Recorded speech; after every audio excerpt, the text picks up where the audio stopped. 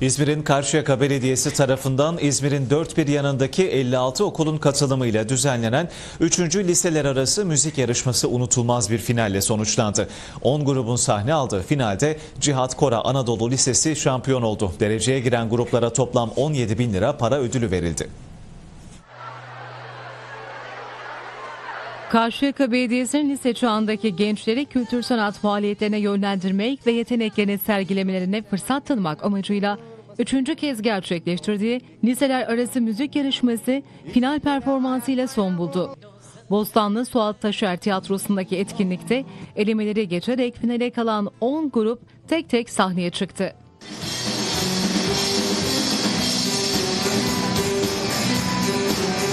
Geleceğin yıldızları muhteşem performanslarıyla izleyenlerden büyük alkış aldı. No.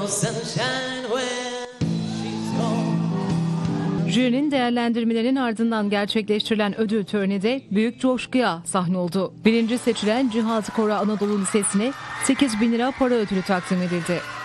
İkinci olan Atakent Anadolu Lisesi'ne 5 bin lira. Üçüncü sırada yer alan Çiğli Tuğba Özbek Anadolu Lisesi'ne ise 3 bin lira. Jüri özel ödülünü alan İzmir Atatürk Lisesi'ne ise 1000 lira para ödülü verildi. Ödül törenine belediye meclis üyeleri, muhtarlar ve bine yakın vatandaş katıldı. Dereceye girenleri Başkan Akpınar açıkladı. birincilik ödülü Cihat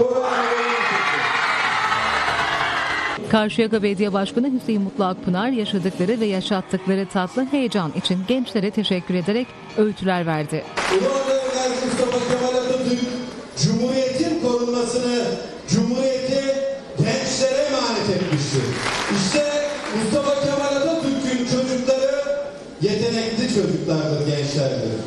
Mustafa Kemal Atatürk'ün gençleri geleceği çalmak için uğraşmaz. Sadece müzik aleti çalmak için uğraşır. İşte böyle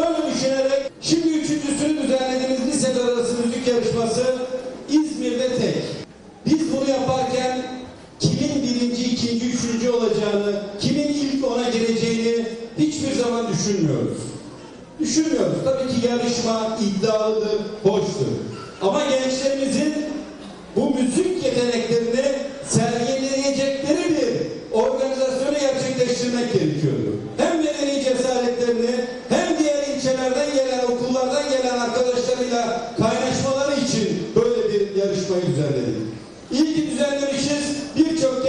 kardeşimi heyecanla burada dinliyoruz. Onlar sahne performanslarını sergiliyorlar. Katıldığınız için hepinize sonsuz teşekkür ediyorum.